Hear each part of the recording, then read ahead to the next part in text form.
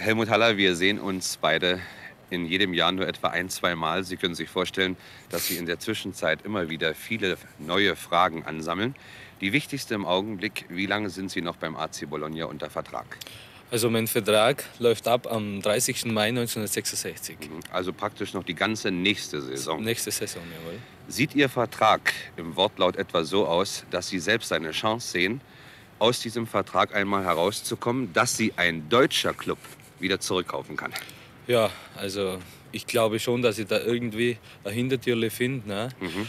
Aber das muss man alles im Einvernehmen mit dem Präsidenten machen. Sie meinen auf gütlichem Wege? Auf gütlichem Wege. Und wenn ich Ihnen verspreche, dass ich jetzt nächstes Jahr noch eine tolle Saison bringe, Ja. ich glaube, dass wir die dann für das, also für das Mögliche deutsch- Geld. mögliche Geld Ja. freigeben können. Ne?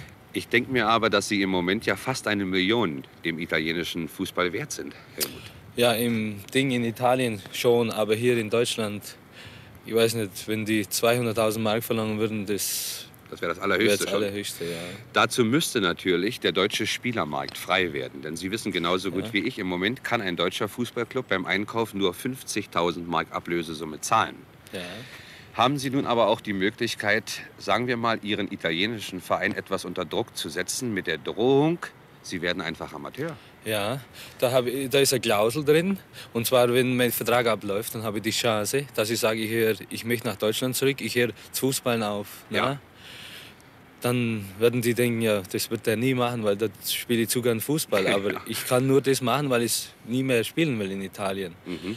Dann werde ich zwei Jahre gesperrt. Ja. Und nach diesen zwei Jahren bin ich Amateur und dann kann ich hingehen, wo ich will. Und die bekommen keine, keinen Pfennig Geld für mich. Eben, Ja. das ist nämlich genau, das meinte ich mit der Drohung. Denn wenn Sie als Amateur den Verein wechseln, dann bekommt der AC Bologna nicht, Nicht eine einen Pfennig. Mark, ja. Und das werden sie dich, die bestimmt überlegen. Ja. Gut, wir hoffen natürlich, Helmut, dass Sie gar nicht diese Drohung aussprechen müssen, sondern dass es wirklich einen gütlichen Weg mal geben wird.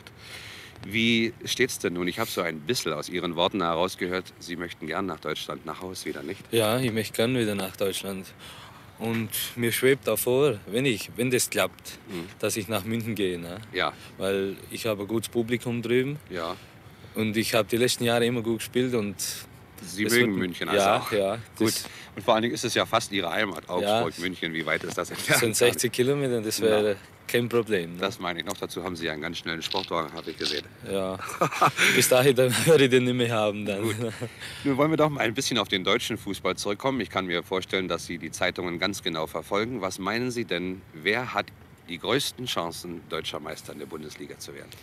Also ich verfolge es ja nur in, äh, durch die Zeitungen in Ja. Mhm. Italien. Ich bekomme die Zeitung immer einen Tag später. Aber ich glaube, dass die zwei bayerischen Vereine, der Club und 60, dass für mich die zwei das Rennen machen. Auch in dieser Reihenfolge?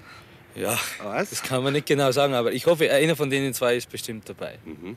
Und 1860 steht ja noch im Europacup. Sie waren im vorigen Jahr mit dem AC Bologna dabei. Sie kennen sich aus in dem Milieu. Glauben Sie, dass die 60er eine Chance haben, ins Finale zu kommen?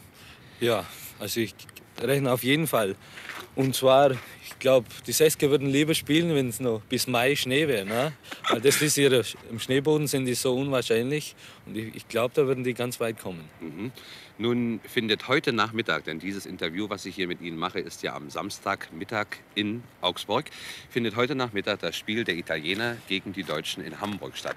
Wenn es läuft, das Interview in der Sendung im Fernsehen, dann ist Montag, Helmut Haller. Wir können uns also beide jetzt blamieren. Wollen Ja. wir trotzdem einen Tipp riskieren? Ja, also ich gebe, mein, mein Tipp ist, das kommt auf die Witterungsverhältnisse drauf an. Ne? Mhm. Ich weiß nicht zurzeit, wie, wie das Wetter ist in Hamburg, aber wenn es ein bisschen gefroren ist oder ein bisschen Schneeboden, dann Siege für die Italiener schwarz, weil wir dürfen ja in Italien nicht auf Schneeboden spielen und die sind es überhaupt nicht gewöhnt. Aber wenn die, wenn die Italiener einen trockenen Boden haben, dann schätze ich, dass für die Deutsche also nicht mehr reicht, als wir zum Unentschieden. Ne? Wollen wir genau einen zahlenmäßigen Tipp sagen? Was meinen Sie, wenn es normale Bodenverhältnisse in etwa gibt? Ich sage 2-1 für Italien. Gut, und ich muss, ich darf genauso nicht feige sein wie Sie, ich muss auch Farbe bekennen. Ich sage unentschieden 1 zu 1. Jeder blamiert sich, so gut das kann. Ja. Ich wünsche Ihnen jedenfalls noch schöne Tage, gute Monate, vor allen Dingen fußballerisch in Italien, dass Ihre Wünsche sich erfüllen, auch im Interesse der deutschen Fußballgemeinde. Alles Dankeschön. Gute, Helmut. Dankeschön.